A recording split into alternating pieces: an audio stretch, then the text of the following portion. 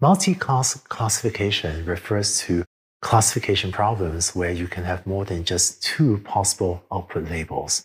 So not just zero or one. Let's take a look at what that means. For the handwritten digit classification problems we've looked at so far, we were just trying to distinguish between the handwritten digits 0 and 1.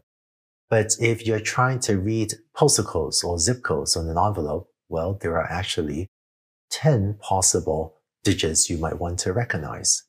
Or alternatively, in the first course, you saw the example if, if you're trying to classify whether patients may have any of three or five different possible diseases. That too would be a multi-class classification problem.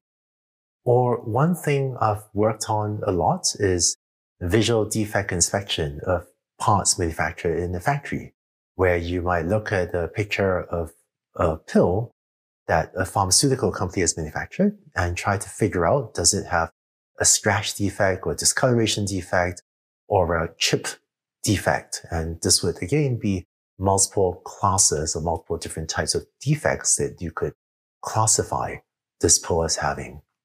So a multi-class classification problem is still a classification problem in that Y can take on only a small number of discrete categories. is not any number. But now Y can take on more than just two possible values. So whereas previously for binary classification, you may have had a data set like this with features x1 and x2, in which case logistic regression would fit a model to estimate what's the probability of y being 1 given the features x, because y was either 0 or 1. With multi-class classification problems, you would instead have a data set that maybe looks like this, where we have four classes where the O's represent one class, the X's represent another class, the triangles represent a third class, and the squares represent a fourth class. And instead of just estimating the chance of y being equal to 1, we'll now want to estimate what's the chance that y is equal to 1, or what's the chance that y is equal to 2, or what's the chance that y is equal to 3, or the chance of y being equal to 4. And it turns out that the algorithm you learn about in the next video can learn a decision boundary that maybe looks like this, that divides the space x1 and x2 into four categories rather than just two categories. So that's the definition of the multi-class classification problem.